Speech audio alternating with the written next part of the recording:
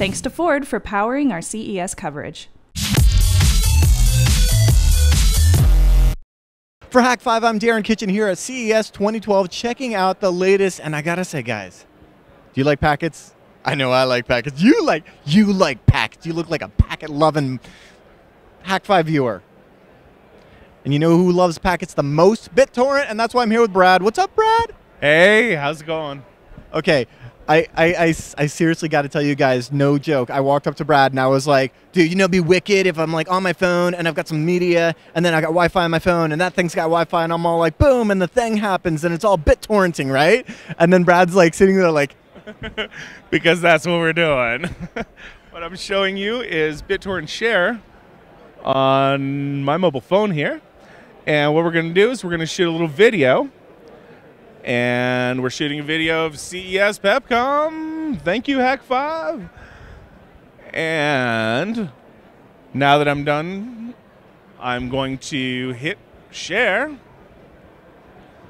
And because this device and my PC are both logged into the same account, it knows to drop off my video at my PC. So no, it's not like going through Dropbox. It's not an FTP. This is actual BitTorrent. BitTorrent direct from my phone down to the PC and actually direct to my TV. And this video that I just shot, you'll notice, is now going to play back on my TV. And that is pretty fantastic because this is like damn near real time. That was so fast across there. Um, and now, initially, you're the only seeder, but the video is out on the cloud now. Exactly. And there's one seed up in the cloud, one seed on my device, and all of the people that I've invited to my share channel are able to download the content peer assisted and peer accelerated. Ah, so kind of like Dropbox in the sense that I can create like folders that only certain people have access to, but using the power of BitTorrent, which we all love. Yes.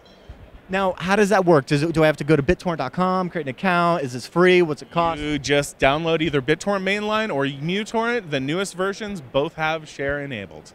So awesome. on the left-hand side. And okay, as far as sharing on mobile devices, I'm really stoked about this because I would love to be able to come to like CES and record, you know, episodes of Hak5 on my cell phone and then boom, get it out to you guys instantly. Join my share. It's going to be awesome. No leechers. Come on, seed now. But um, but uh, say, say like Paul here is rocking an iPhone. He gonna be able to do that? Uh, we intend on going to all devices. So yes, in the future, iOS devices will also be part of the ecosystem. And are, is there any cost involved in this whatsoever? No, like all BitTorrent, MuTorrent technologies, the standard thing is free. Nice. I love how you know you, there's no crazy upsell. Is there like a premium, or you just there is one premium for our plus version of the client, which enables you to transcode all different types of video into BitTorrent uh, media profile, which allows you to move it around inside of the BitTorrent universe. And it also enables you to do antivirus on all of your torrents. Wicked. I love this stuff. Thank you so much, Brad. I'm really stoked about. You guys know we love BitTorrents. And um, for continued coverage of CES 2012, go ahead and head over to revision3.com slash CES, and we'll see you there. The Ford Fiesta features intelligent access with push-button start. The remote keyless entry eliminates the need for keys and starts your Fiesta with the push of a button. You can't say enough about the simplicity of just being able to walk up to the car, open the door, and drive away without fishing around in your pockets. Thanks to Ford for powering our CES coverage.